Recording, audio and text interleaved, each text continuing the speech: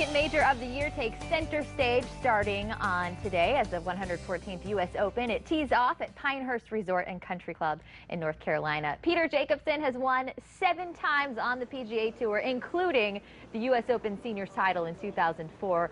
A true ambassador of the game, Peter joins us this morning. Peter, good morning. Hey, good morning, Stephanie. It's a beautiful day here at Pinehurst. Uh, overcast, cloudy, but but very warm and uh, good good golf weather. It looks like it. We here in Southwest Florida have uh, good golf golf weather. You are said you're familiar with Southwest Florida too, though. Yes, I live right down below you in Bonita Springs. Been there for about 10 years and love when I get home and have a chance to get out there on the golf course. We have a lot of great golf courses and golf fans right there in that Fort Myers, Naples area. We do have a huge fan base here, which is uh, one of the many reasons why we're excited to talk to you about uh, golf today. With Tiger Woods on the sideline for the second major, are the young guys on the tour your favorites, uh, would you say, maybe in your eyes?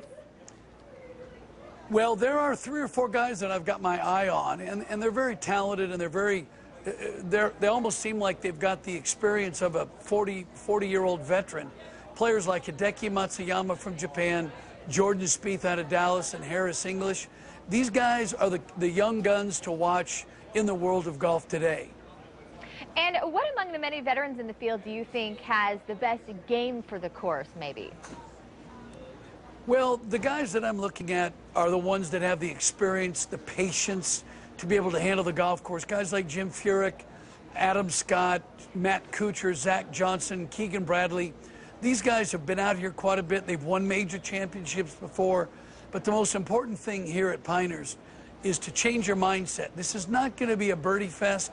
You're not going to have a lot of birdies in your round, maybe two or three a day, but you've got to have patience. You've got to make pars, and I think that's where the, the veterans' experience is really going to help. And Peter, a recent survey asked fans what they thought was the greatest moment in U.S. history. Can you tell us a little bit more about that? It seems like there would be uh, so many uh, things to choose from. It'd be hard. Yeah, it's really hard. And thanks to Lexus, which is the automotive partner of the USGA and the official vehicle here this week at the U.S. Open, they had an online survey to ask fans their favorite moment in U.S. Open history. And as you pointed out, there's a lot to choose from. But the fans chose the 2008 U.S. Open when Tiger Woods made the putt on the 72nd hole to tie Rocco Mediate. They went into a playoff. Tiger won. And if you re remember, he had that damaged left knee, which he had to have his ACL replaced. So pretty good for Tiger Woods to win the U.S. Open on a damaged knee. And thanks to Lexus for running that survey. That's pretty incredible. So as far as this Sunday, who do you see posing with the trophy? Any ideas? Have you been uh, putting a lot of thought into that?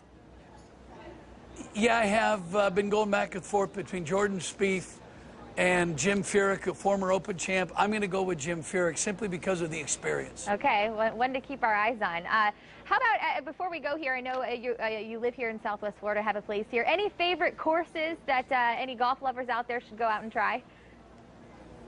Yeah, I, I uh, hey, I built a golf course down on Marco called Hammock Bay. Uh, so go go check that one out. It's one of my favorites. All right, we're heading out there. It was great having you on the show. Thanks for stopping by. Thank you. For more information, you can just log on to our website. Go to fox4morningblend.com. And we will have one last look at today's Fox forecast, and then we'll be right back.